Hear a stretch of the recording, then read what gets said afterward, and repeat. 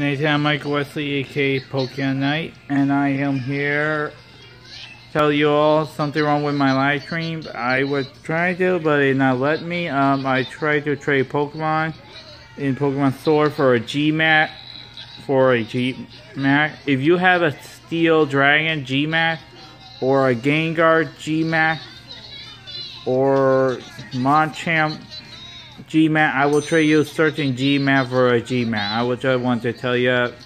I want to tell all my viewer and all my subscriber, thank you for subscribing to my channel and watch my video.